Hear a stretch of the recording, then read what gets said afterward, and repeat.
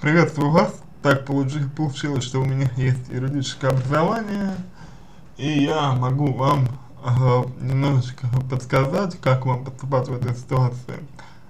Дело в том, что э, порча имущества чужого является адми, э, административным правонарушением, э, в крупных масштабах это является уголовным правонарушением.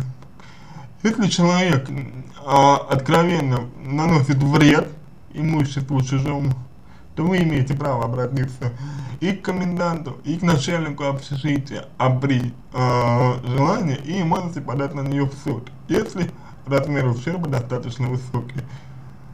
При наличии у вас доказательств или отсутствии доказательств того, что сделал это другой человек, ее обязаны переселить. Если этого не делает комендант, то вам нужно жаловаться дальше потому что иначе вас так и будут а, притеснять. Необходимо защищать свои права, комендант а, обязан разрешать все вопросы, связанные с проживанием, и то, что вы сирота, не делает вас а, хуже других людей.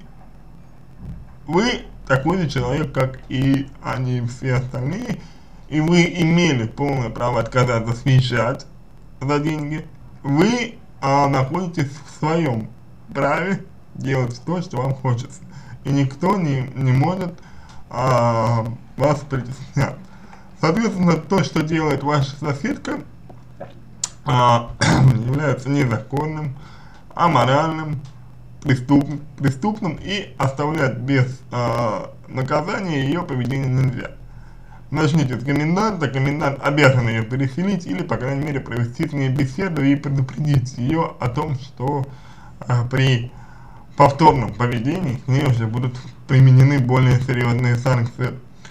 А в противном случае просто ваша жизнь а, невыносимой, а учиться защищать себя, свои интересы в нашем мире, к сожалению, к сожалению необходимо. Поэтому чем раньше начнете вы это делать, тем будет лучше для вас.